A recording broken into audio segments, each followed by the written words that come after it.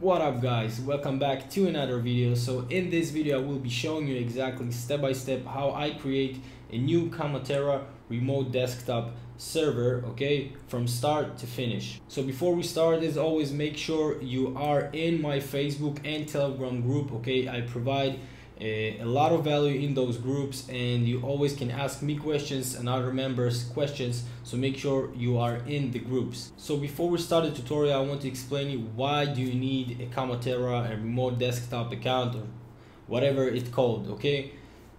You need to understand that if you want to be successful on ebay and and also protect your income you need to have multiple accounts. You need to create multiple accounts and as long as you uh, can manage them okay but you want to build uh, as much as possible okay? And that is for protecting your income and also increase your uh, income okay? Because it is really hard to max out only one account which I already explained in my previous videos. So this is why we need a Kamatera account to uh, be able to to have multiple accounts running from a different uh, let's say different computers and different IP addresses that eBay will not know that this is uh, this is us. The second reason that you want to have a Kamatera cloud server is because for example uh, there will be a point that you will have virtual assistants okay virtual assistants is really crucial for the success of your business and outsource things okay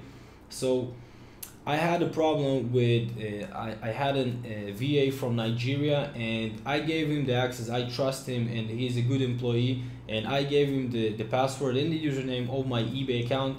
And the problem is that eBay blocked my account. And why is that? Because he is logging in. I was at that, that time I was in Israel and he tried to log in to my eBay account from Nigeria so eBay eBay recognized us by the IP address, the let's say the your computer, things like that. So but the IP address is the most important for like what I think.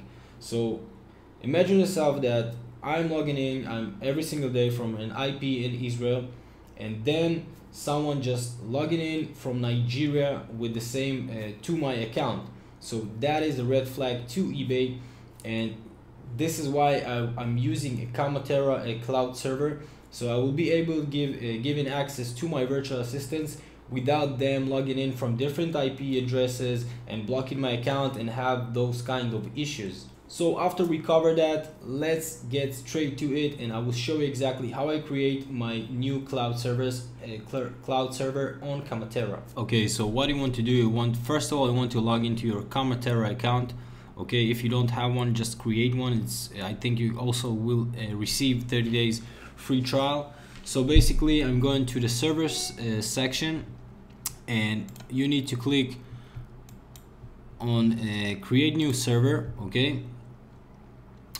We want to create a new server a new uh, remote desktop for our dropshipping business. Let's say i want to create a new manual store in the uk so i will choose europe okay you can also uh, choose I think United States. You have uh, three states here and Canada. So I will choose uh, Europe and click on London.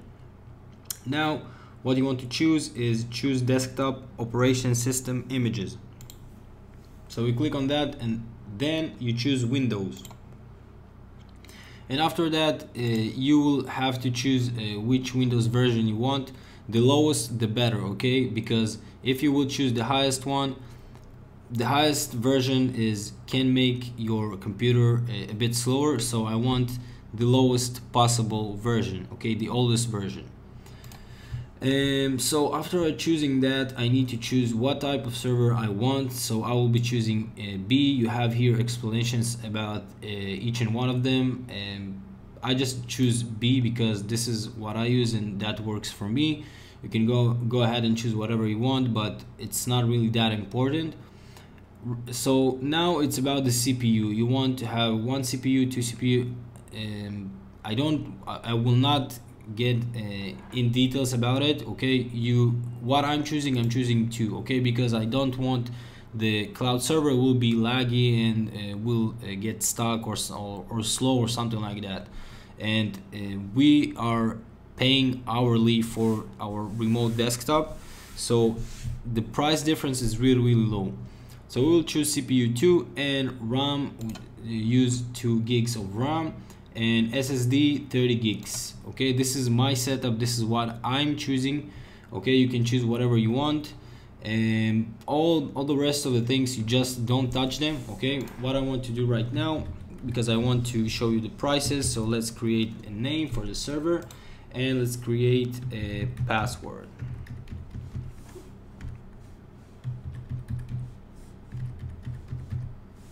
Okay. Perfect. So as you can see right now uh, Kamatera gives me like and uh, they offer me or to be charged monthly okay? It doesn't matter how how many hours you use the cloud server or to pay hourly okay? And of course we want to choose hourly because um, we we want to pay only for what we are using okay? So let me uh, break that down for you okay? So when you will be using the cloud server okay you will be charged for 0.049 per hour that you use the cloud server. And when the cloud server you shut down the cloud server and you're not using it you will be charged only 0.009 per hour okay? And that will save you at least like half of the of this price of 36 bucks because we're not using all day long in the cloud server okay? I'm using maybe six hour per per day uh, my cloud server some days a bit more but basically this is the best option for us because we want to be uh, to to pay as least as possible. So after that you just click server okay uh, create server and that's it you done okay? Now you will have here uh, the new server that you created. Then you, you take the details of the IP address login in and with your password and that's it. Is that simple okay? So there you have it guys. One thing before we finish i'm not saying kamatera is the best cloud server uh, or remote desktop servers that uh, there is okay there are uh, plenty of different companies and i'm considering to check other companies that maybe will be better okay but right now this is uh, i'm using kamatera i'm fine with it it works great for me and I will keep using them until I will find a better solution. So guys, I hope that tutorial will really help you. Thank you for watching guys. If you like this video, give this video a thumbs up and don't forget to subscribe if you haven't already. And thank you guys and I will see you in the next one. Cheers.